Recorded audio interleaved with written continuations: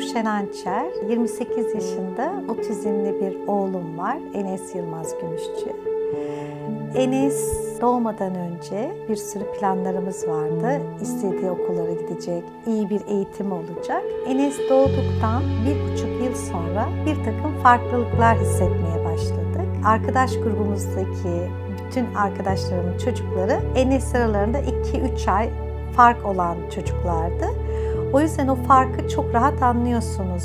Konuşurken birden Enes konuşması durmaya başladı iki kelimeler söylerken tek kelimeler söylüyor. İşte yürümede sıkıntımız oldu. Erkek çocuğudur, geç konuşur ama bir şey var içinize doğuyor yani hissediyorsunuz.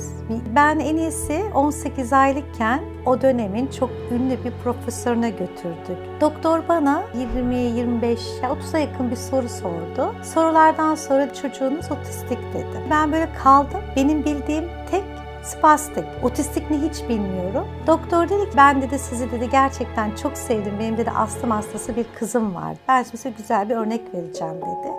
Ben içimden diyorum ki oh Allah'ım şükürler olsun. Astımın demek ki bir iki tık üstü bir sıkıntı var ki hani halledeceğiz çok şükür diyorum. Masamda dedi gördüğünüz dedi bir çiçek var dedi. Bakıyorum çiçeğe ben de. Ben bunu dedi suluyorum. Toprağını değiştiriyorum arada. Gübre veriyorum. Arada da balkonu çıkartıyorum güneşe. Ben de şimdi diyorum ki hani bu çiçekten biz astımın bir tık oradan otistik nasıl geleceğiz diye beklerken dedi ki sizin çocuğunuz böyle bu bitki gibi olacak dedi.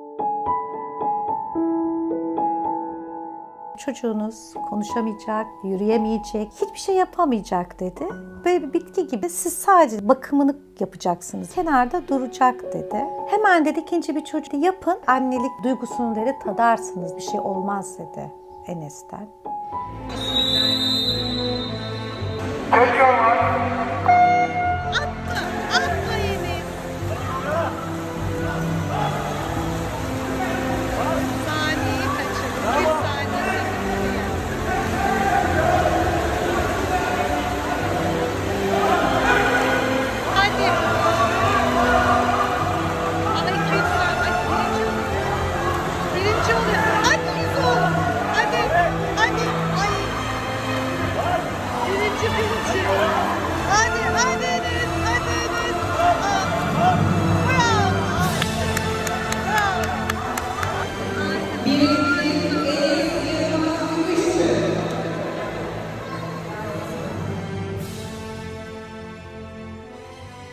Bismillahirrahmanirrahim. yıl önce internet yok, doktor yok, eğitimci yok, hiçbir şey yok ya. Otistik ne yani hiç bilmiyorum otistik kelimesi. Zaten şimdi ben otistik kelimesinde hiç o zaman da sevmedim. Şimdi de sevmiyorum. O yüzden bir otizmli demeyi tercih ediyorum. Tabii bir depresyona girdim. Çok kötü oldum ailece. Özellikle anneler daha güçlüyüz. Diyoruz ki dur biz yaparız. Doktor araştırırken bir doktor duyduk. Dediler ki ya otizmliler de iyi, güzel işler yapıyor. Çok az olduğu için koşturarak gidiyoruz böyle yani. Neyi duysak gidiyoruz ama boş yani bir şey de yapamıyoruz. Çünkü hiçbirisi bilmiyor. Böyle muayenehanede 7-8 tane anne kucaklarında çocuklar, kiminin elinde çocuklar ama bekliyoruz böyle heyecanla, çaresizlikle. O bir tuhaf bir duygu yani böyle.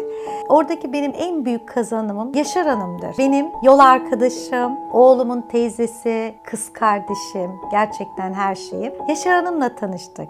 Tabii ki oradaki aileler de biz güzel bir bağ kurduk. Ben şimdi Enes diyorum 2-3 yıl geç gider ama ilkokula da başlayacak, ortaokulda da başlayacak, gidecek. Hep böyle ümit ediyorum. Tabi bu arada anaokullarına başladık. Anaokullarındaki öğretmenler diyorlar tabii ki alırız ne demek ilgileniriz. Bu bizim işte vicdani boyutumuz. Bizim için gerçekten çok güzel bir çocuğun hayatına dokunacağız. Ama yuvalarda biz çok sıkıntı yaşadık. Çünkü çocuklarımız tek başına biz varken öğretmen sürekli ilgileniyor ama siz yokken bir kenara özellikle de yardımcıların yanlarında gün geçiriyorlar. Sonra Enes'i ilkokul zamanına geldi. Benim halamın kızı da ilkokul öğretmeni. Dedik ki biz oraya Enes'i kaydettirelim ama kimseye de söylemeyelim sıkıntı olmasın. Enes'i kaydettirdik. Ama benim yüreğim nasıl her anne gibi, her aile gibi böyle yüreğim pırpır ediyor. Acaba Enes'i kabul edecekler mi? Hem büyük heyecan duyuyorsunuz çocuğunuz okula başlayacak diye. Çünkü hepimizin hayali çocuklarımızın okula başlaması.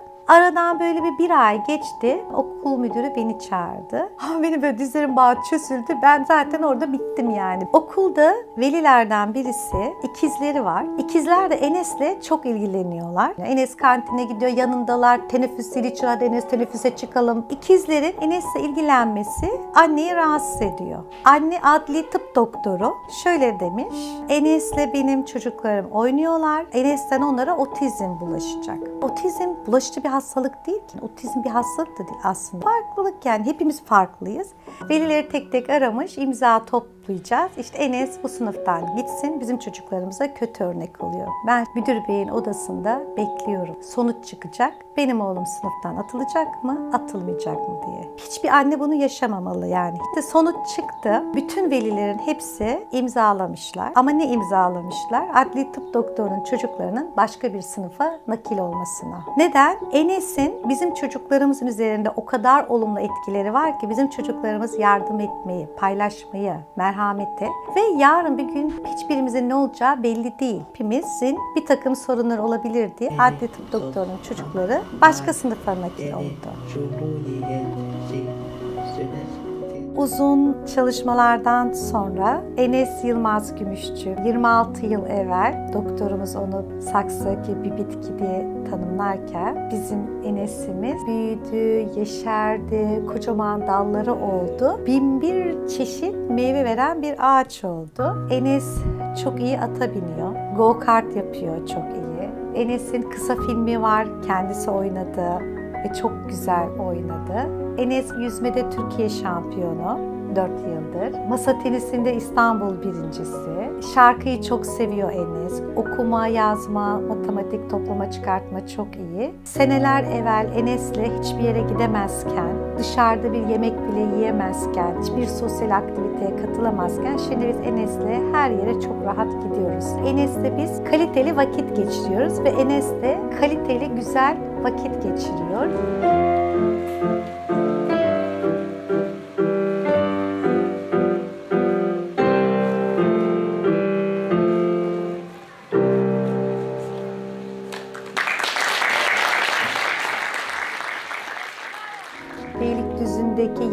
Şarkı yarışmasında çok büyük bir alanda bir konser. Enes orada birinci oldu. Ben Barış Manço'nun şarkısını söyledi ve çok da güzeldi. Enes beraber söyleyelim mi?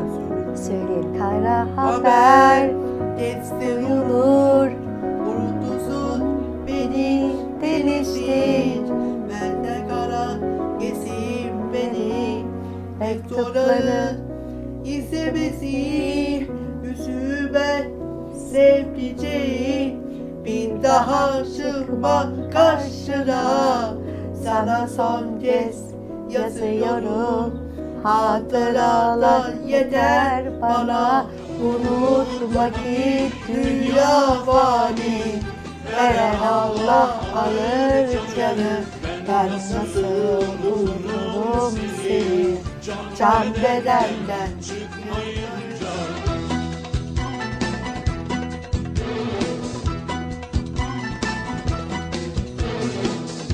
Kurumuş bir çiçek buldum.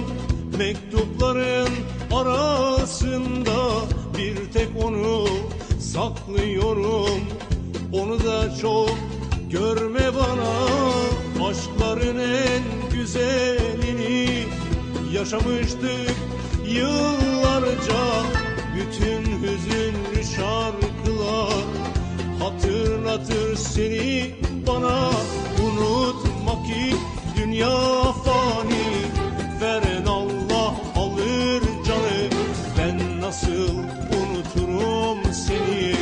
Can bedenden çıkmayınca Unutma ki dünya fani Veren Allah alır canı. Ben nasıl